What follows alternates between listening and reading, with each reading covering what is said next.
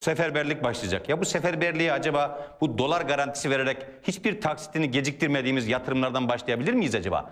Şimdi Tabii. buralara hiç gelince hiç kimse değmiyor dolara ama vatandaşa gelince vatandaşın dolarla ne işi var? Vatandaşın maaşlarına 101 milyar dolar bak bugün hocam açıklandı.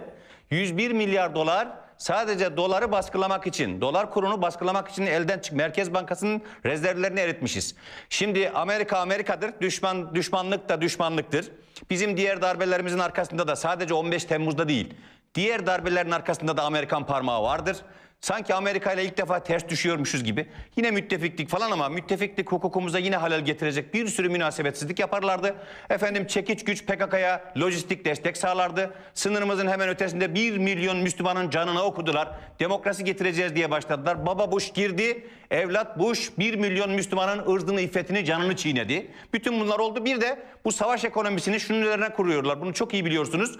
Efendim harcadıkları bütün parayı kuruşuna kadar işgal etmeye teşebbüs ettikleri ülkelerin petrol rezervlerinden hak alarak telafi etmeye çalışıyorlar. Şimdi bütün bu azgınlıklar sanki AK Parti'nin ilk defa karşılaştığı şeylermiş. Sanki Türkiye Cumhuriyeti Devleti ilk defa böyle bir şeyle karşılaşıyormuş gibi davranamayız. Bizi sadece bu tür meselelerde karşı karşıya bıraktığı, bırakıldığımız rencide edici bu siyasal alandan çıkaracak kuvvetli bir devlet iradesi bekliyoruz. Şimdi